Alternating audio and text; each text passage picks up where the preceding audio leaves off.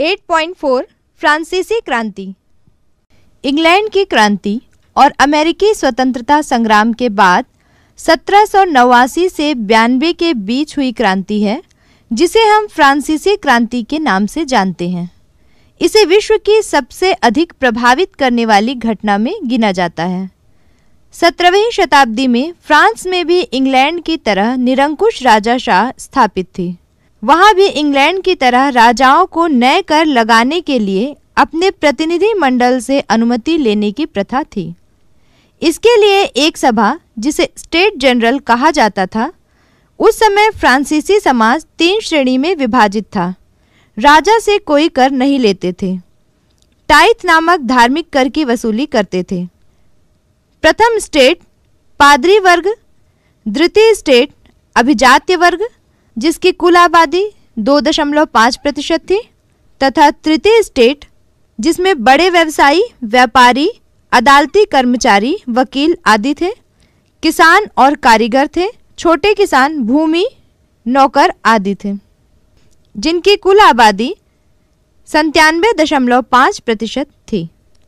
राजा जब सलाह के लिए तीन स्टेटों को बुलाते थे तो हर एक स्टेट का अपना मताधिकार था इसमें पहले दो स्टेट को स्वीकार्य होता था, वही पारित हो सकता था, जबकि संतानवे प्रतिशत आबादी को प्रतिनिधित्व करता था।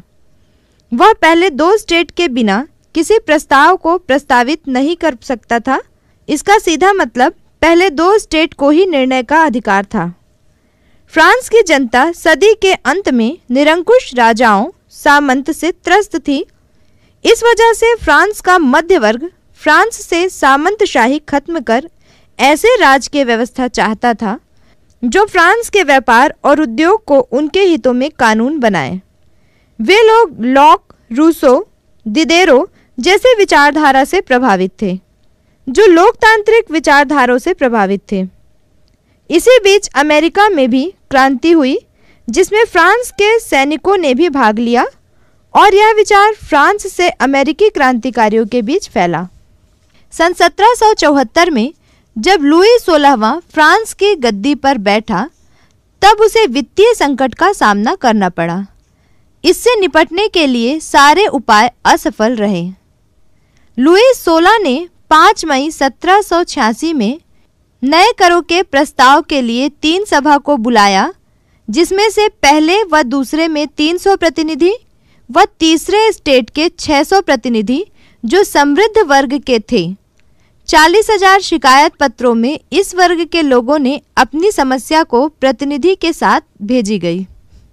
स्टेट जनरल के नियमों के अनुसार प्रत्येक स्टेट को केवल मत देने का अधिकार होगा, जिसे रूसो ने द सोशल कॉन्ट्रैक्ट में प्रस्तुत किया। इस मत को अस्वीकार कर दिया गया, जिसका विरोध सभा से बाहर जाकर तीसरे स्टेटों ने दिखाया। तीसरे स्टेटों के प्रतिनिधियों ने अपने को फ्रांसीसी राष्ट्र प्रवक्ता मानते थे और उसने अपने को राष्ट्रीय असेंबली घोषित कर दिया।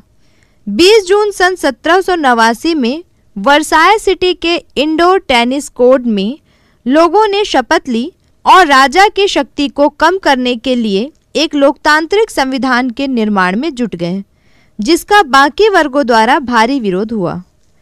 गाँव में किसानों ने सामंतों के खिलाफ बगावत कर दी शहरों में खाने पीने की चीज़ों को लोगों के पहुँच से बाहर कर दिया गया।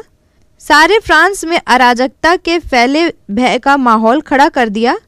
कुलीन जमींदार जमींदारी छोड़ भाग कर पड़ोसी देशों में शरण ले लिया।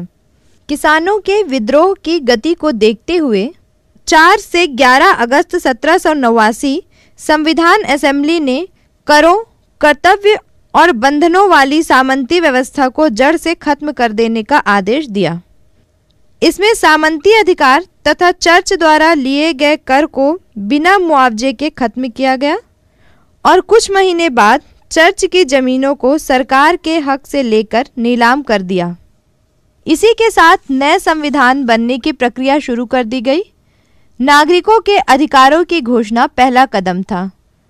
26 अगस्त सत्रह सौ नवासी को असेंबली ने पुरुष महिला के अधिकार की घोषणा की और इस घोषणा के फलस्वरूप महिलाओं को मत अधिकार नहीं दिया गया।